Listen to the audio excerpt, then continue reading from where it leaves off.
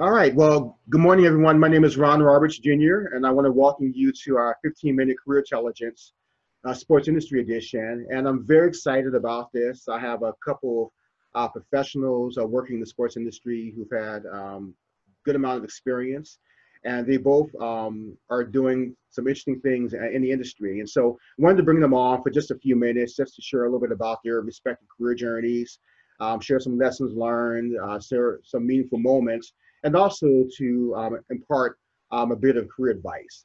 And so wanted to go ahead and to introduce both. And so, so we have uh, first Linda DeYampert, who's a senior manager of studio environmental health and safety for the National Football League. And that's definitely an interesting title. So I'm looking forward to hearing Linda talk a little bit more about what she does.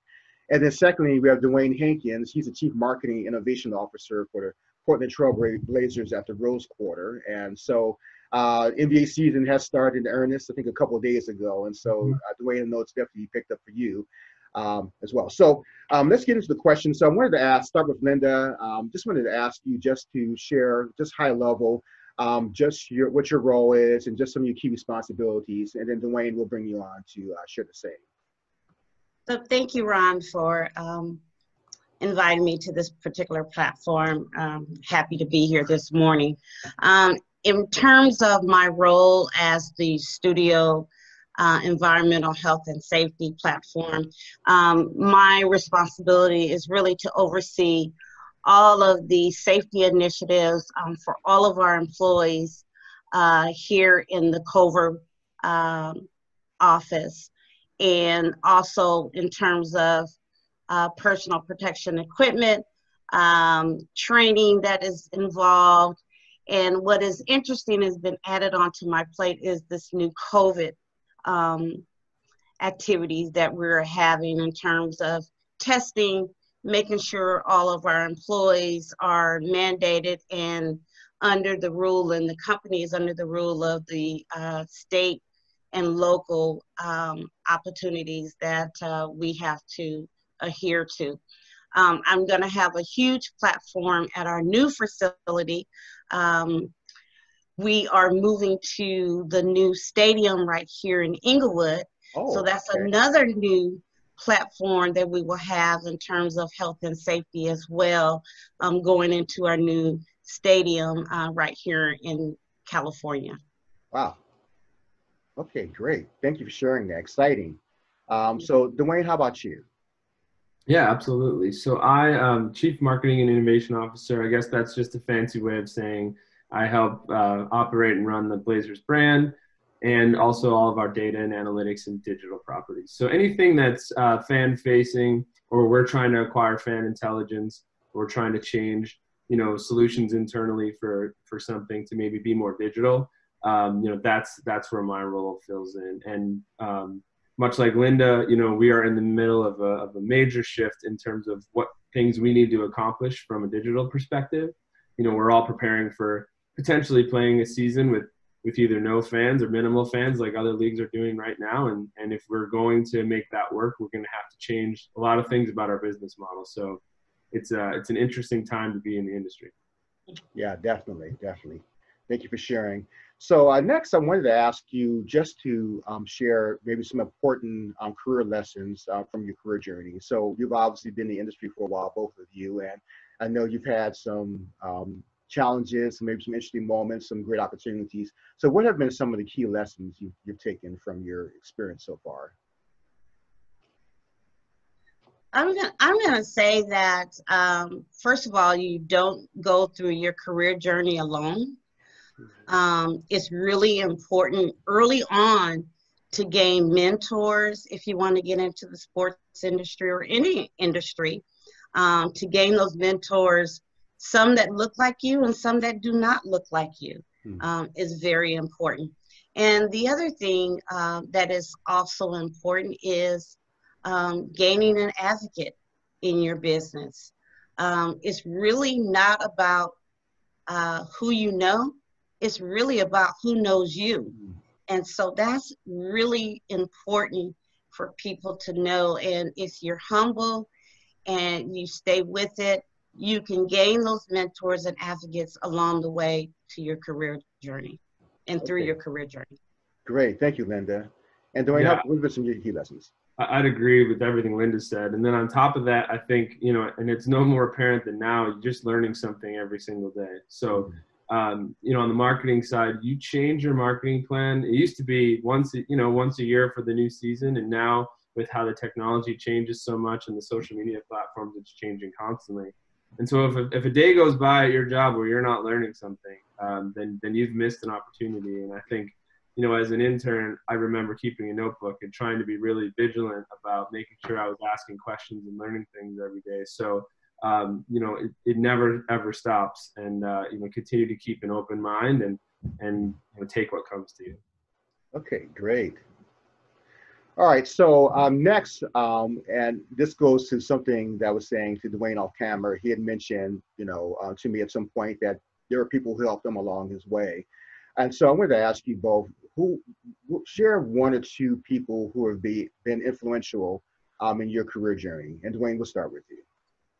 Yeah, absolutely. So, I mean, it's it's a little bit cheating, and maybe I'm um, uh, brown nosing my boss a bit, but Chris McGowan uh, is my our president here at the Trailblazers, and he was my boss at AEG down in Los Angeles as well. Chris has been a phenomenal advocate for me, and he's been a mentor, and he's helped me get through a lot of challenging parts in my career. So, so Chris is an obvious one. The other person is uh, Bill Robertson, and he was my mentor at uh, Minnesota Wild when I worked at that team. And and both of those folks have just been um, phenomenal in terms of asking, you know, answering my questions and, and helping me with career advice. You know, the sports industry is an industry where um, there isn't really a, a straight path and, and might require a lot of moving around. I've, I've, I've certainly moved around the country a little bit and, uh, you know, having someone who can bounce ideas off of and, and make sure you think you're making the right move is, is a really, really important thing for someone to have.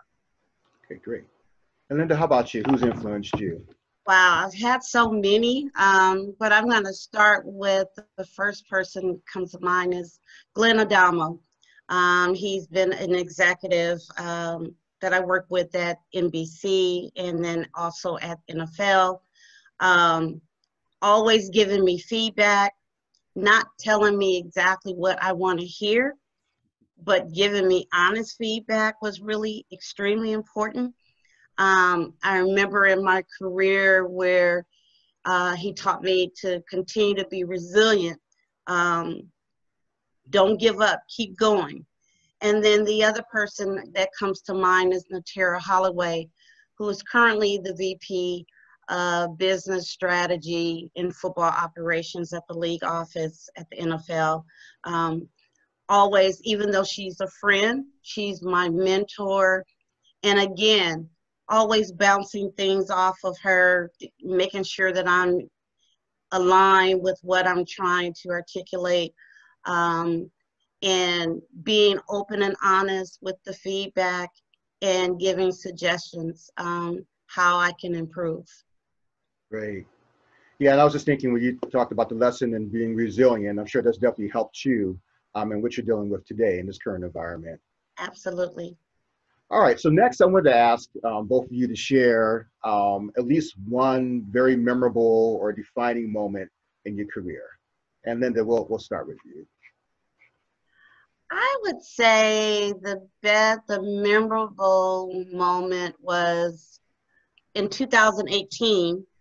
Um, I won the Commissioner's Award, um, and it's the highest award in our company uh, for starting and helping with the first Black Affinity Group, which is our Black Engagement Network. It's called BEN. Um, in the teamwork category, and that was the first time that uh, there was a, ca- a, category in that space for an affinity group. So that was my memorable moment, just to have that acknowledgement amongst your peers and senior leadership um, to uh, gain a uh, the highest award in the company. Great, congratulations on that. Thank you. Certainly. And Dewayne, how about you?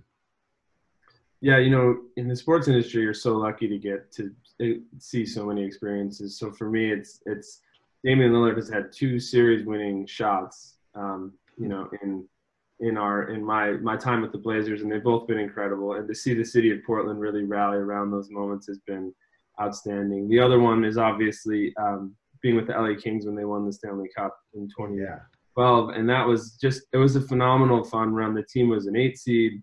Um, they had no business, you know, you know, getting as far as they did, and, and it was such a fun, fun run for us. So, um, you know, again, it's been it's been fun, and those are the ones that stick out for me. Yeah, that um, King Stanley Cup run was a lot of fun. I mean, it was just so cool. And just for folks who may not otherwise been involved in hockey or interested in hockey, just to have that that team help to bring the city together, you know, was really cool. All right. Um, so we have just a few more minutes. Um, so wanted to ask you, um, what do you think? So both of you have obviously has been in the industry for a while, and you've seen um, people come in who've been successful, and you've seen folks who maybe haven't been quite as successful.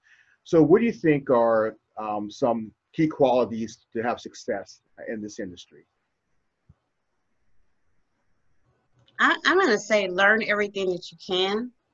Um, and Dewayne mentioned this always ask questions, be willing to take on new projects, hmm. learn something new that's in your business.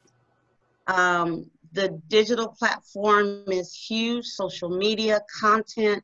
Mm-hmm. Um, you should be learning that, and uh, that keeps you relevant. And also to um, stretch yourself, have stretch goals, um, and just uh, continue to be encouraged and determined. Great, great. And Dewayne, how about you? Well, Linda said be humble, and I think that one's really, really important. I think you're going to get a, a, a, ton of opportunity thrown your way, and and you you know you're never too good to take on any one project.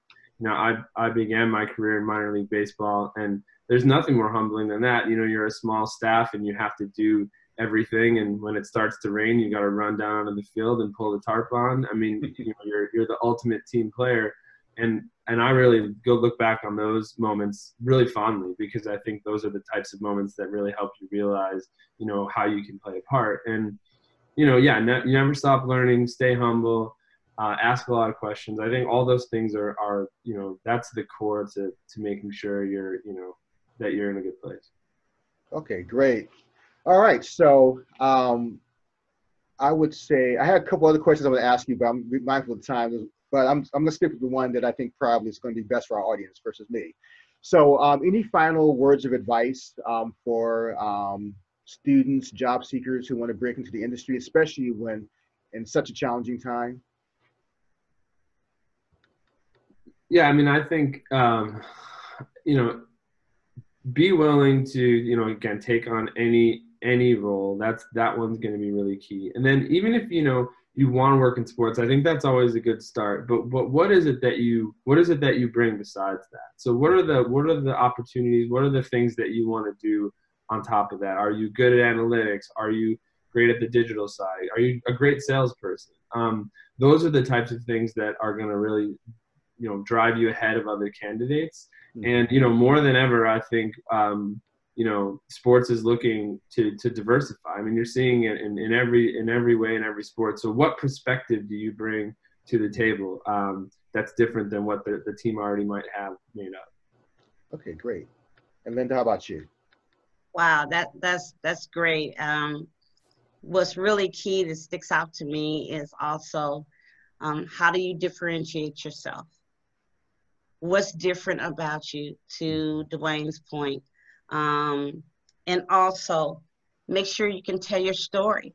Mm-hmm. Um, that's very important in your journey, um, how you're getting there. And stay connected to people that are in sports. Don't be afraid to ask for five or 10 minutes or reaching out to someone about if you can sit down with them to talk about their careers or get a perspective and also to just be able to do everything you can um, to help. That's very important and, and, work really hard. Okay, great. You both were great at answering those questions pretty quickly. So I'm going to just insert one last question. Mm-hmm. What do you want people to know about you? Just real quick. Anything? Hmm. If Hmm. not, we won't make it painful, but Um, let's see. I'm a mother okay. and I'm a grandmother of five grandsons, believe Oh, it or wow. not. Congrats. Dewayne, how about you? Yeah, I'm, I'm a father of two energetic boys who are eight and six. Um, they're you know phenomenal. You know, and then with living in Portland, you know, I grew up in Chicago, so I never thought I'd be the outdoors person that I've become. And in Portland, you have to be. So I really, really taken to the outdoors and really enjoying it out here. So. Okay, great. Well, good stuff. I want to thank uh, both Linda DeYampert and Dewayne Hankins for uh, taking some time out to share some career wisdom and definitely wish you both uh, continued success in your careers and look forward to connecting again uh, soon. All right, take care. Thanks so Thank much. you. Thank you.